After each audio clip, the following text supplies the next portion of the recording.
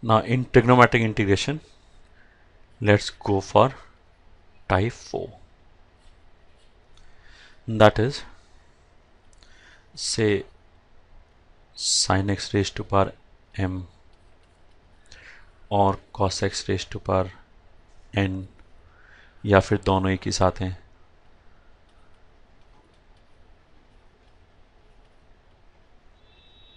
ठीक है where m comma n r positive integers ठीक है, अभी केवल इंटीजर्स की बात करें। जैसे मान लें साइन क्यूब एक्स हो गया साइन एक्स रेस्ट फाइव हो गया, या साइन एक्स रेस्ट फोर हो गया, ठीक है, इस तरह का इंटीग्रेशन तो इसके अंदर क्या करेंगे? Case one if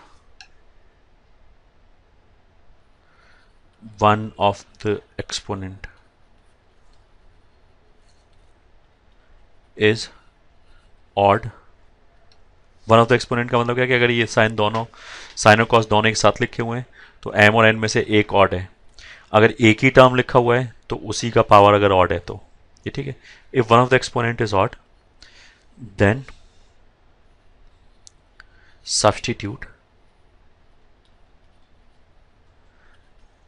other term equals to t ठीक है? मतलब कहने का मतलब क्या है कि अगर केवल साइन का ही टर्म लिखा हुआ है ये, अगर इसका पावर ऑड है तो फिर cos x is equal to t रख दो। ठीक है? लॉजिक क्या है इसके पीछे? इसके पीछे ये लॉजिक है कि अगर हमारे पास मान लिया साइन स्क्वायर एक्स है तो उसको I can write on cos square x well and good अगर मेरे पास है sine x raise to four ठीक है तो उसको भी I can write on cos square का स्क्वायर ठीक है? जैसे मान लिया तुम इसको ऐसे देखो कि अगर मान लिया मेरे पास लिखा है साइन रेस्ट पावर फोर तो I can write down one minus cos square का स्क्वायर इसको ओपन कर लो तो ये भी रेडिकल फ्री आएगा। अगर मेरे पास साइन क्यूब है तो इसको अगर कॉस में कन्वर्ट करोगे ना वन माइनस कॉस स्क्वायर तो रेस्ट पर थ्री बाई टू आ जाएगा मतलब ये रेडिकल साइन आ जाएगा। सेम चीज़ कॉस के साथ अगर कॉस रेस्ट पर सिक्स लिखा है इवन पावर है, तब तो ये विदाउट रेडिकल साइन के कॉस में कन्वर्ट हो जाएगा। तो मतलब वन माइनस सॉरी साइन में कन्वर्ट हो जाएगा। वन माइनस साइन स्क्वायर का क्यू ऐसे आ जाएगा।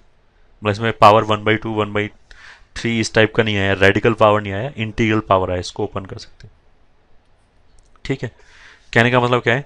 कि अगर साइन और कॉस के इवन पावर हैं तो इनको दूसरे में कन्वर्ट किया जा सकता है। मतलब साइन को कॉस में कॉस को साइन में विदाउट स्क्वायर रूट वगैरह के।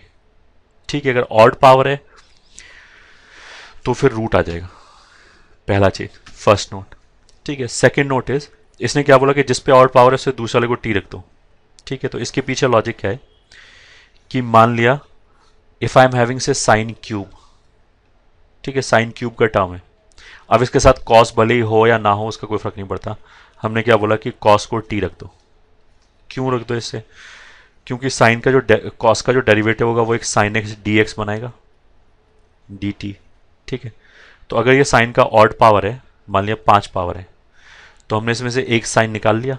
वो तो dx के साथ यूज़ हो गया dt बनाने के लिए। और जो बाकी साइन बचा, वो इवन पावर में बचा।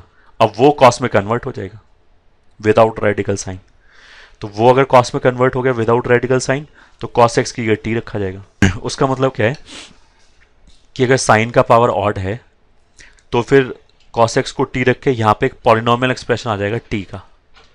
ठीक है? साथ में कॉस एक्स भले ही हो या ना हो, उसका कोई फ़र्क नहीं पड़ता। ठीक है? फ़र्स्ट थिंग पहला चीज़ तो ये हो गया।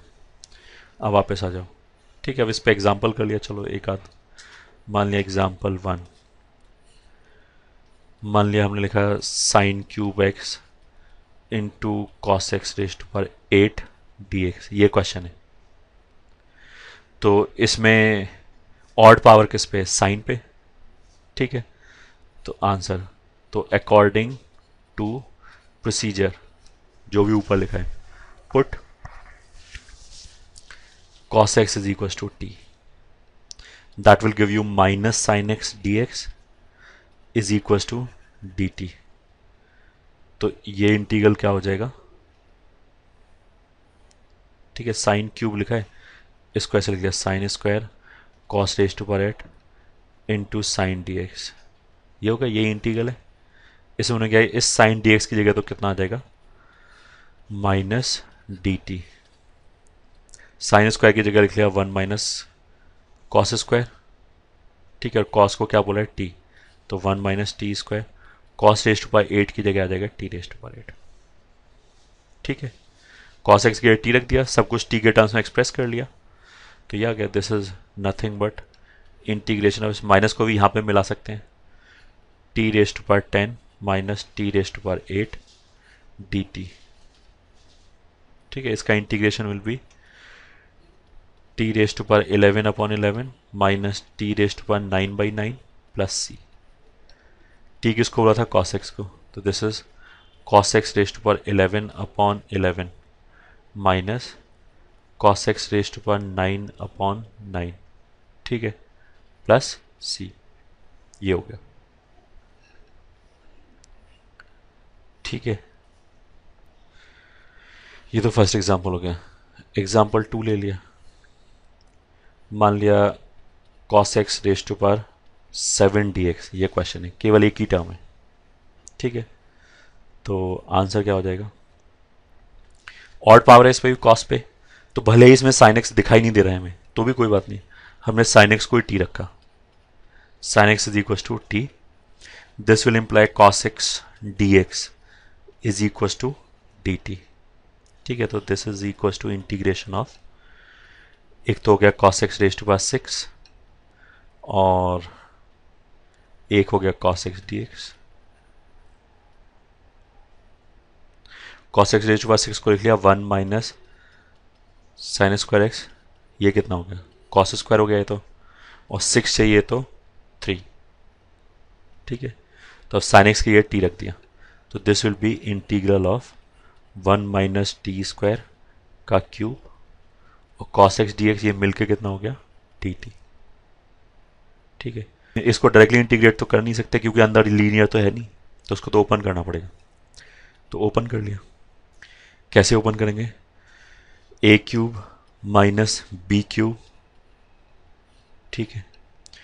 फिर minus three a square b minus three a b square तो ये प्लस हो जाएगा टी रेस्ट का फोर डी टी या क्या? इसको इंटीग्रेट कर लिया तो आ जाएगा टी माइनस टी रेस्ट पर seven upon seven minus three t cube upon three plus three t raised पर five upon five plus c and t किस चीज़ को बोला है? साइन एक्स को. So this is equal to sine x minus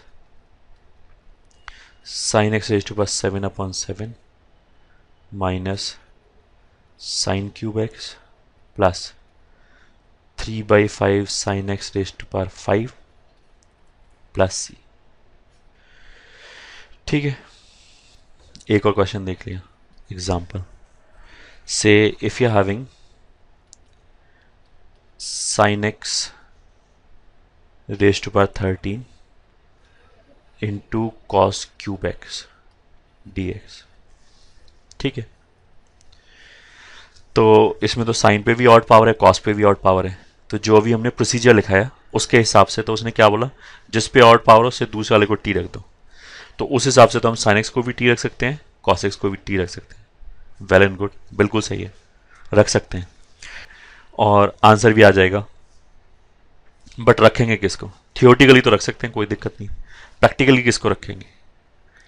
वो तुम इसको ऐसे देखो कि जैसे मान लिया, अगर मैंने साइन एक्स कॉस एक्स को टी रखा तो इसमें से एक साइन एक्स चला जाएगा डी एक्स के साथ डी टी बनाने के लिए।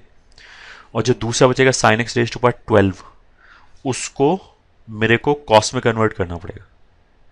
ठीक है?